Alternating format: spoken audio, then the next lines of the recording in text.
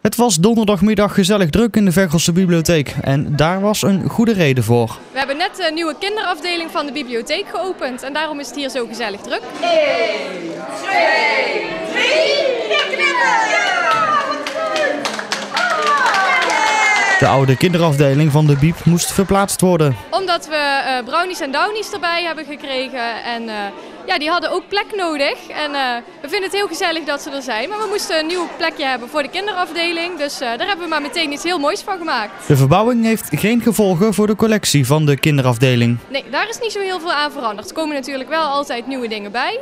Maar dat is ongeveer hetzelfde gebleven. Alleen ja, het ziet er wel allemaal net weer even iets mooier uit. Maar wordt er nog wel gelezen door kinderen? Nou, kijk maar eens even om je heen en je ziet genoeg kindjes met boeken in de hand en ouders die aan het voorlezen zijn. Dus gelukkig gebeurt dat inderdaad heel veel. Lezen is belangrijk voor kinderen. Nou, lezen is gewoon heel goed voor de ontwikkeling van kinderen, om het, uh, voor het ontwikkelen van de fantasie. Uh, het is leuk ook vooral. Kinderen leren nieuwe woorden, kinderen leren hoe ze met elkaar kunnen omgaan en met andere mensen.